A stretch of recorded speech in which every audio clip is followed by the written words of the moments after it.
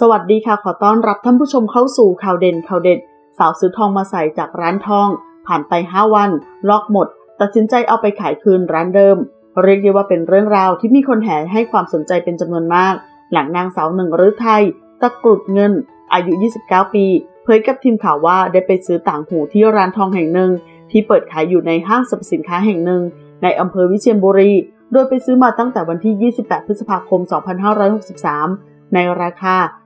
1,350 บาท ใบเสร็จระบุต่างหู 90%น้ำหนัก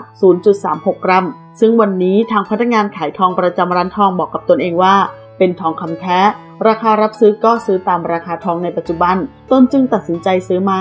ต่อมาได้เอาต่างหูไปขายคืนที่ร้าน เพราะต่างหูทองเกิดลอก ในวันที่ 2 มิถุนายนที่ผ่านมา โดยทางร้านบอกว่าต่างหูเป็นทอง 90%และผู้ซื้อน่าจะใส่ไปโดนน้ำหอม หรือโลชั่น พร้อมทั้งตีราคารับซื้อคืนในราคา 259 บาททำให้ตนตัดสินใจยอมขายต่างหูขาดทุน ทั้งที่ขาใจ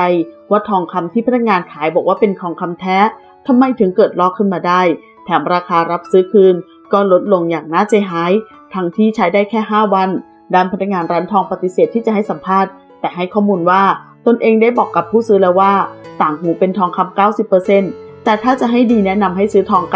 96.5%จะดีกว่า แต่ผู้ซื้อยืนยันว่าจะซื้อทอง 90%ส่วนสาเหตุที่ทองลอก เนื่องจากอาจใส่ไปโดนน้ำหอมหรือโลชั่น ส่วนการตีราคารับซื้อทอง ก็เป็นราคามาตรฐานที่รับซื้อกันทั่วไป ตามเปอร์เซ็นต์ของเนื้อทอง พนักงานคนขายกล่าว ขอขอบคุณข้อมูลจากสยามนิวส์ขอบคุณค่ะ